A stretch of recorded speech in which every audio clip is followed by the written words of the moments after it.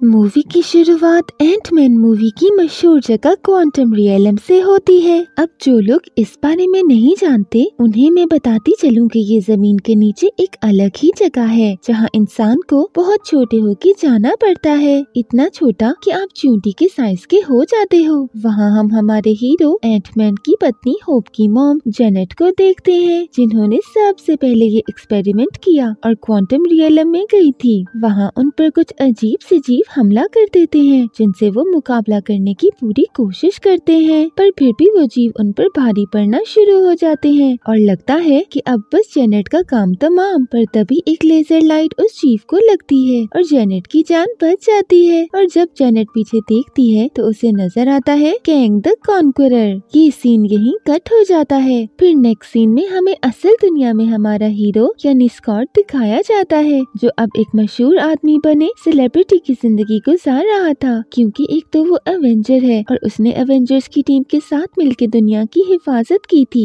और दूसरा, उसने एक किताब लिखी थी, जिसने उसे और भी ज़्यादा मशहूर कर दिया था। स्कॉट अब एक अच्छी ज़िंदगी गुजार रहा था, क्योंकि एक तो वो मशहूर था, ऊपर से उसके पास अब एक पूरा परिवार था, जिसमें वो, उसकी बेटी कैसी उसकी पत्नी होप और साथ ही साथ होप के माता पिता भी थे। स्कॉट को उसकी ज़िंदगी में अब कोई कमी नज़र नहीं आती थी, पर परफेक्शन नाम की तो कोई चीज़ नहीं होती। इसीलिए एक दिन स्कॉट को जेल से कॉल आता है और उसे पता चलता है कि उसकी बेटी कैसी जेल में है। जब वो जेल पहुँचता है तो उसे पता चलता है कि कैसी ने कुछ होमलेस लोगों को बचाने के लिए पुलिस पे हमला कर दिया। सिर्फ़ यही नहीं, उसने एक पुलिस की गाड़ी को भी छोटा कर दिया, जिस वजह से पुलिस उसे उठा के जेल ले आई। स्कॉट उसे बचा तो लेता है, पर उसे कैसी पर बहुत गुस्सा था, क्योंकि वो कैसी को एक अच्छा इंसान बनता देखना चाहता था, पर ऐसे उसका जेल जाना स्कॉट को बिल्कुल पसंद नहीं आया। यहाँ हमें पता चलता है कि स्कॉट के इतना टाइम केसी से दूर रहने की वजह से दोनों पिता और बेटी का रिश्ता कुछ खास अच्छा नहीं है। यहाँ होपर जेनेट स्कॉट को ठंडा होने का कहते हुए समझाती है कि जो भी हुआ पर कैसी की नीयत अच्छी ही थी। वो तो सिर्फ़ होमलेस लोगों की मदद करना चाहती थी,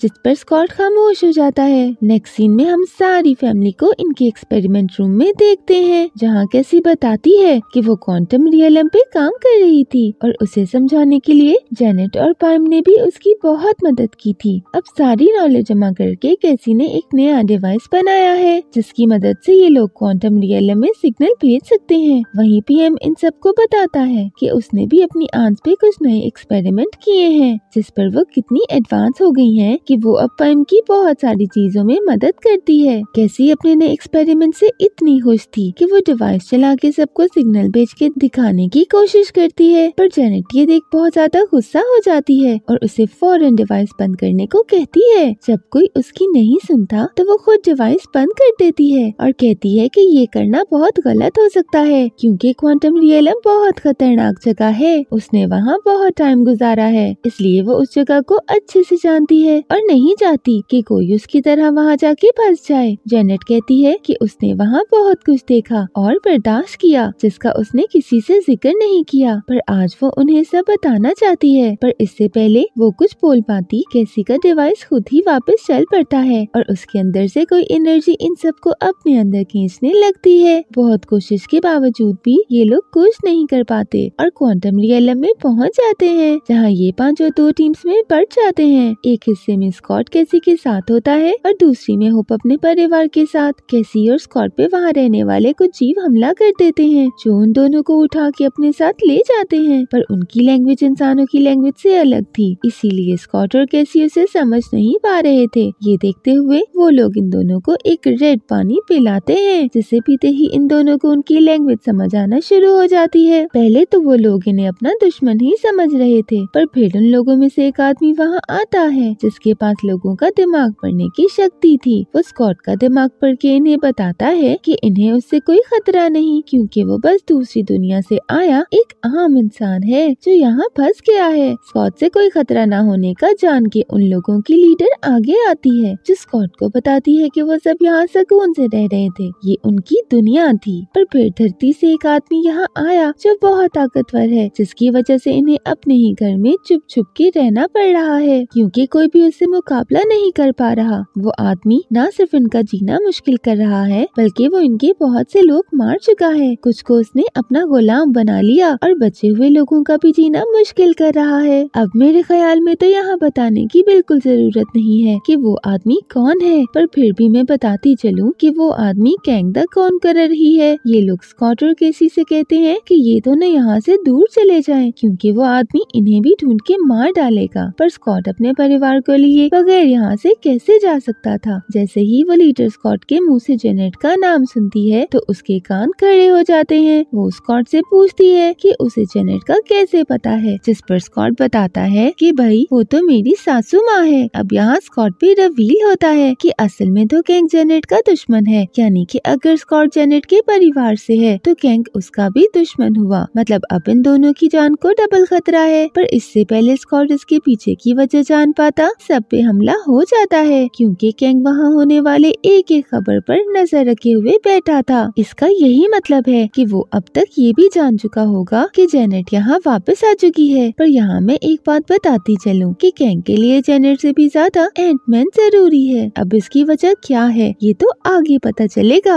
पर मूवीज़ की लॉजिक के हिसाब से देखा जाए तो ज़ाहिर है, भाई हीरो की सासू माँ किसको चाहिए? सबको तो हीरो या खुद हीरो की महबूबा चाहिए। इसीलिए बेचारे स्कॉट के हीरो होने की वजह से कैंग उसका ज़बरदस्ती का दुश्मन है, जिससे अब उसने मूवी के एंड तक निपटना है। अब हम इस लड़ाई में देखते हैं कि इन पे हमला करने वालों में एक एंटमैन वन का विलन भी है, जिसे तो डिज़ाइन ही किलिंग के लिए किया जाता है, जो पार्ट वन में एंटमैन से लड़ते हुए लास्ट सीन्स में क्वांटम रियलम में फंस गया था। पर यहाँ आने पर उसे उसकी ज़िंदगी का एक नया मकसद कैंग की वजह से मिला। यही नहीं, बल्कि नया सूट और डरोने विलन वाला कॉस्ट्यूम भी मिला, जिसमें बहुत से और हथियार थे। अब पहले ही वो विलन मान नहीं था। अब तो बस ऊपर वाला ही बचाए खैर, वो अजीब सा क्रिएचर सबको से हटाता केसी और स्कॉट को उठा के कैंग के पास ले जाता है। सीन्स होप जेनेट और पाइम पे शिफ्ट होते हैं, जो जेनेट के एक्सपीरियंस का फ़ायदा उठाते हुए आगे बढ़ रहे थे, कि तभी उन्हें भी कुछ लोग घेर लेते हैं। लगता तो ऐसा ही है कि वो उन पे हमला करने लगे हैं। जेनेट अपने परिवार को साइड पे होने का बोल के इस मसले को खुद हल करने के लिए आगे बढ़ती है तो उन लोगों का लीडर भी सामने आ जाता है, जिसके बाद दोनों के बीच एक मज़ेदार सी लड़ाई देखने को मिलती है, पर तभी एकदम दोनों हंसने लगते हैं। यहाँ रिवील होता है कि असल में ये लोग जेनेट के दोस्त ही हैं और वो लोग बस मज़ाक कर रहे थे। अब मेल मिलाप के बाद वो लोग जेनेट को बताते हैं कि कैंगा बहुत ताकतवर हो चुका है। वो पूरे क्वांटम रियलम पे कब्जा करके बैठा है, इसलिए उसे यहाँ नहीं आना चाहिए था, क्योंकि वो जेनेट के यहाँ होने का जान के फ़ौरन उसे मारने पहुँच जाएगा, जिसके बाद वो लोग जेनेट को वहाँ टाइम गुजारने की कुछ चीज़ें और एक उड़ने वाला जीव भी देते हैं, जिस पर ये तीनों वहाँ से निकलने लगते हैं। अब सारा कुछ देखते हुए ज़ाहिर है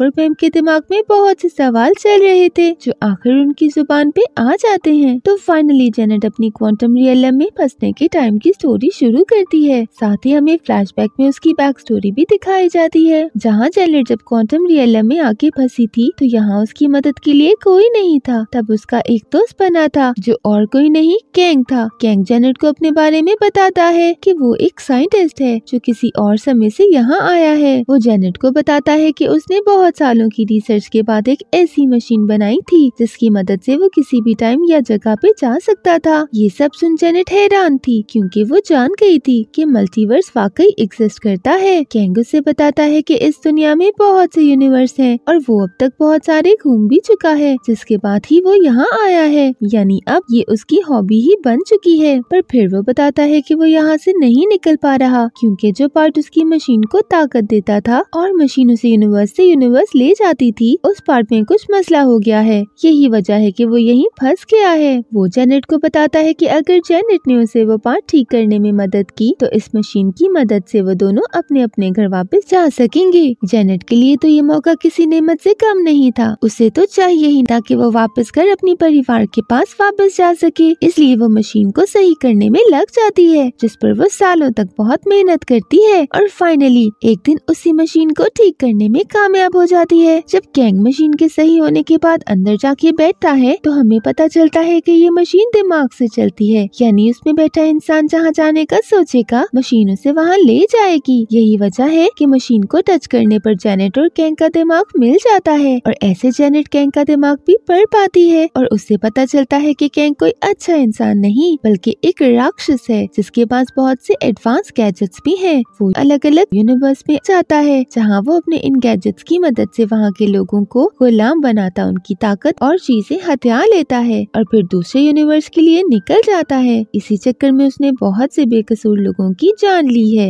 ये सब जान के जेनेट परेशान हुई मशीन से दूर हो जाती है और उसे ऐसा हड़बड़ाया देख कैंग समझ जाता है कि जेनेट उसकी असलियत जान गई है। इसलिए वो जेनेट के सामने एक ऑफ़र रखता है कि अगर वो अपना मुँह बंद रखे तो वो जेनेट को कुछ नहीं बोलेगा। उल्टा उससे वापस उसके घर भी छोड़ देगा। पर अगर जेनेट ये ऑफ़र मान लेती तो एंटमैन की थर्ड सीरीज़ देखने को थोड़ी मिलती। इसीलिए उसके अंदर का सारा इंसाफ बाहर आ जाता है, ताकि एंटमैन की सीरीज़ चलती रहे और हम एंटरटेन होते रहे। उसे डर था कि अगर कैंग को ना रोका गया तो वो उसका यूनिवर्स भी तबाह कर देगा। यहाँ भी कैंग उसका डर खत्म करते हुए कहता है कि जेनेट की मदद से आज वो यहाँ से निकलने में कामयाब हो पा रहा है। इसलिए वो बाकी यूनिवर्स को तो कॉन्कर करेगा, पर जेनेट का एहसान उतारने के लिए उसके यूनिवर्स को भी छोड़ देगा। पर नहीं भाई साहब, नहीं। जेनेट को तो अपने और अपने परिवार के लिए मुश्किलें चाहिए थी। इसलिए वो कैंग को बुरा भला बोलती बातें सुनाने लगती है।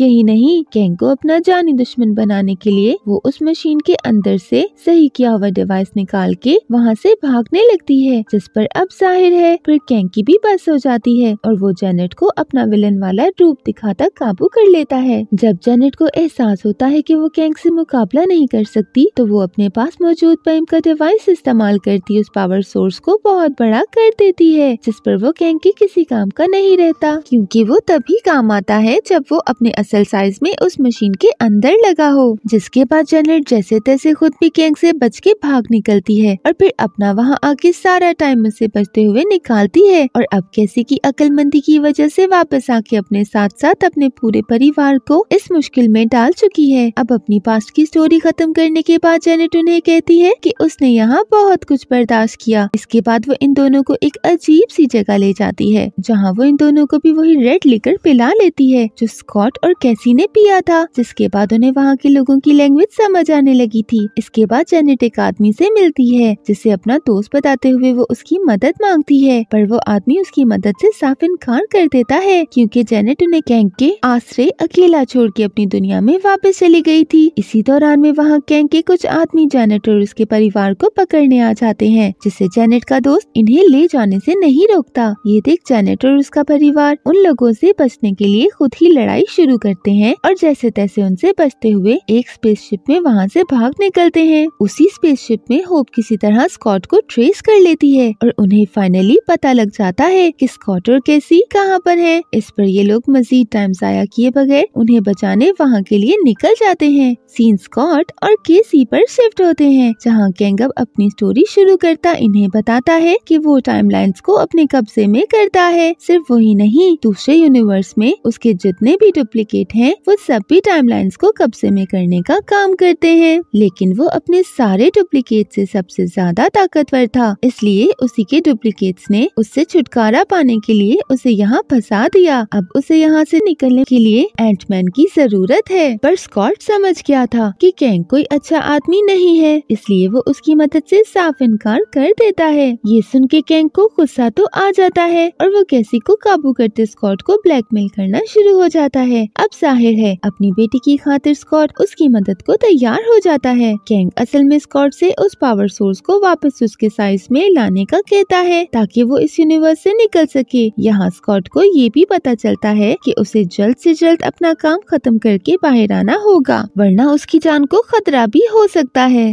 खैर वो किसी भी बात की परवाह किए बगैर अपनी बेटी के लिए उस पावर सोर्स में घुस जाता है, जहाँ उसके अलग अलग साइज़ में डुप्लीकेट बनना शुरू हो जाते हैं और वो सारे मिलके उस पावर सोर्स को छोटा करते वापस साइज़ में लाने की कोशिश में लग जाते हैं। दूसरी तरफ़ स्कॉट का परिवार उसे ढूंढते वहाँ पहुँच जाता है और स्कॉट को मुश्किल में देख जैनेट फॉरन उसके पीछे उस डिवाइस में जाती है, जहाँ दोनों एक दूसरे की मदद से उस पावर सोर्स को वापस साइज़ में ले आते हैं, जिसके बाद स्कॉट उसे कैंक को देने जाने लगता है। पर जैनेट और पैम उसे कैंक की असलियत बता के रोकने की कोशिश करते हैं। लेकिन ज़ाहिर है स्कॉट की बेटी उसके कब्जे में थी तो वो दुनिया की परवाह क्यों करता? पर इससे पहले ये लोग किसी फैसले पे पहुँच पाते। कैंक खुद ही पावर सोर्स लेने वहाँ पहुँच जाता है, जो कैसी भी उन्हें नहीं देता। और अपनी ताकत से उन्हें साइड पे करता पावर सोर्स लिए निकल जाता है, जहाँ पीछे से पार्ट वन का विलन वापस स्कॉट से बदला लेने उससे लड़ने लगता है। पर तभी पैम की आँच उनकी मदद के लिए वहाँ पहुँच जाती है, जो इनके के साथ यहाँ खिंची चली आई थी।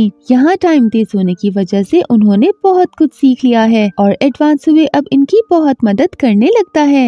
वहाँ कैंग कैसी को मारने के ऑर्डर्स देता है तो कैसी अपने आर्टमैन सूट में आ जाती है, जो उसने पेम के लैब से लिया था। उस सूट को पहन के वो वहाँ सबसे अच्छा मुकाबला करती है और कैंग की कैद किए लोगों को भी आज़ाद करवा देती है, जिसके बाद वो उन सब लोगों को आज़ादी का मैसेज देती साथ कैंग से लड़ने का कहती है। इस पर सब साथ जमा हुए कैंग पे हमला करने पहुँच जाते हैं। साथ ही कैसी का परिवार भी उसकी मदद के लिए वहाँ पहुँच जाता है। अब यहाँ मूवी की आखिरी लड़ाई शुरू होती है, जो मार्वल्स की शान है। इस मज़ेदार लड़ाई में कभी कोई तो कभी कोई जीता नज़र आता है, लेकिन इसी बीच एंटमैन कैंग की मशीन तोड़ देता है, ताकि वो किसी और यूनिवर्स में ना जा सके। इस पर गुस्सा हुए कैंग अपनी आर्मी को इन पे हमले का कहता है। यहाँ दोनों पार्टीज़ के पीछे कमाल की जंग देखने को मिलती है। वहाँ इनके लीडर्स यानी कैंग और स्कॉट की लड़ाई शुरू हो जाती है। शुरू में तो विलन ही जीतता है, क्योंकि राइटर उसे खुश करना चाहता है, पर आखिर में जीत सच्चाई और हीरो की ही होती है, जो इस मूवी में भी हुई और एक लंबी लड़ाई के बाद स्कॉट कैंग का काम तमाम कर देता है। फिर पैम उसकी डिवाइस ठीक करता एक पोर्टल बनाता है, जिसकी मदद से पैम होप और जेनेट तो वापस अपने टाइम में चले जाते हैं, पर इससे पहले कैसी और स्कॉट जा पाते कैंग वापस इनकी जान अजाब करने पहुँच जाता है, जिसे देख स्कॉट कैसी को पोर्टल के उस पार भेजता वापस कैंग से लड़ने लगता है। लेकिन कैंग स्कॉट पे बहुत भारी पड़ रहा था। ये देख होप वापस उसकी मदद के लिए आती है। जहाँ हम देखते हैं कि कैंग अपने ही एक डिवाइस से लगता खत्म हो जाता है। पर अब वो खत्म हुआ कि नहीं, ये तो राज ही है। खैर, होप और स्कॉट फाइनली वापस घर आ जाते हैं और क्वांटम रियलम के लोगों को भी कैंग से छुटकारा मिल जाता है। यही ये मूवी भी एंड हो जाती है। लेकिन इस मूवी के दो पोस्ट क्रेडिट सीन्स हैं। एक में हम कैंग के डुप्लीकेट्स को देखते हैं, जो ये बात कर रहे थे कि स्कॉट और उसके परिवार को उनके वेरिएंट्स का पता लग चुका है, इसलिए उनकी सारी मेहनत जाया जा सकती है, क्योंकि स्कॉट उनके सारे यूनिवर्स वापस आज़ाद करवा सकता है, इसलिए वो स्कॉट के खिलाफ मिलकर प्लानिंग करने लगते हैं। वहीं दूसरे पोस्ट क्रेडिट सीन में लोकी और मोबियस गैंग के एक और वेरिएंट को किसी और टाइमलाइन में हराते नज़र आते हैं। इसी के साथ ये मूवी